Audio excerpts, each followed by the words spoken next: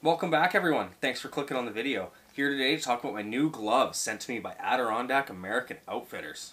The maker of these gloves, Carrie Pratt, sent me these as a Christmas gift. So huge thank you to you man. These things are impressive. Let's dig on into this review and take a closer look at these gloves. These gloves are completely handmade in Gloversville, USA. 90% of the world's gloves used to come from here in the early 1900s. There's only a few small shops doing it still, and Adirondack American Outfitters is one of them. The craftsmanship is impeccable on these things. I'll bring you in for a closer look shortly. This style of leather gloves not only offers you great protection, but great dexterity as well. When you're out in the bush or enjoying the outdoors, gloves offer amazing protection from your hands when you're doing fire prep or building fire pits, pretty much any manual labor while you're out there. But they do limit your dexterity. And these form-fitted leather gloves by Adirondack American Outfitters do not. Just to show you a few examples of how these gloves don't limit your dexterity, got my Mora knife and a leather dangler. In and out, no problem. Kydex. I can undo the snap, pull the knife out, no problem. Knife back in, and I can do the snap back up. I can even pop off the shock cord on my ferro rod, slide the ferro rod out, no problem. And reapply the shock cord. And my little striker. Out, in, no problems at all. The grip they provide is absolutely phenomenal. I cannot slide that axe through my hand. What I found beyond impressive about these gloves is the fact I can still operate the bolt on my 22. I can pull the caps off.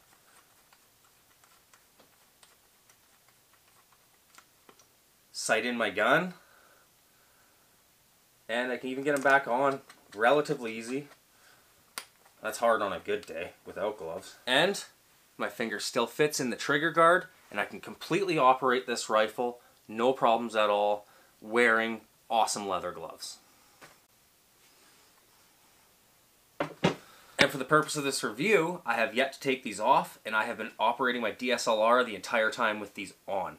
These do not limit your dexterity, offer you amazing protection from the elements, and they're comfortable. Let's bring this camera on in and take a closer look at these. These gloves are completely handmade from bison in the Dakotas. Stitched with heavy duty nylon thread for durability. Couple little lanyard holes on each glove to connect them to your pack. I'm yet to do that. I'm still working on a system. And overall, the craftsmanship is just impeccable. These things are amazing.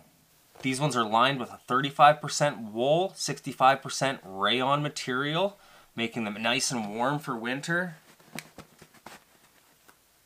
And unbelievably comfortable.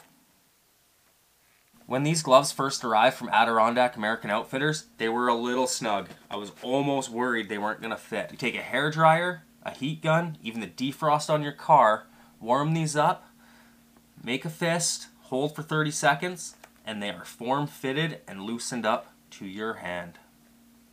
For maintenance on these gloves, depending on use, of course, you can use a leather conditioner or your choice of balm. For me, it's Bark Eaters Bear Essentials. This stuff smells amazing, works on everything, boots, gloves, to your beard. I love it. And this is what I'll be using to condition my leather gloves as needed. If you're interested in a pair of these gloves for yourself, they come in a few models. He's got some fingerless ones, these leather full finger gloves with and without liner, and I believe he's got some mittens in the works. I could be wrong, but I hope I'm not. I'll leave the links in the description to his website and to his Etsy, where you can purchase these gloves for yourself. I highly suggest you check them out. You won't be disappointed. The quality is over the top, 100% handmade in the USA, bison leather, and heavy duty nylon stitching, and with or without a liner. Your choice. Head on over to Adirondack American Outfitters and have a look for yourself. Thanks for watching, everyone.